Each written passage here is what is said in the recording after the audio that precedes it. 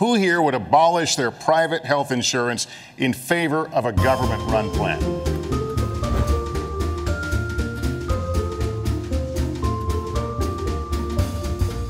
How much would Medicare for all cost? So, so Nora, a couple things. First of all, just quickly, Yeah. just so that people know how much it would cost. How but, much but, but again,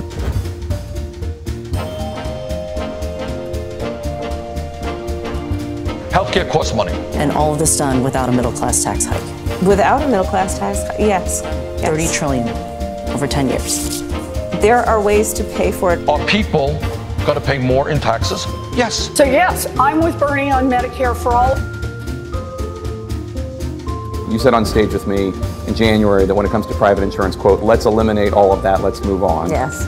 Now you later said we don't need to get rid of all private insurance.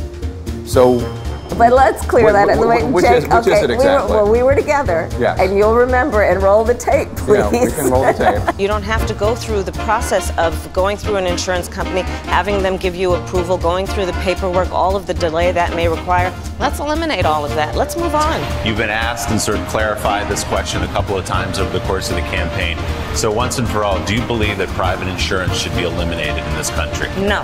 You don't. No, I but do you raised your hand last But the question was, would you give up your private insurance for that option? And I said yes. oh, I think do- you heard it differently than others then. I, probably.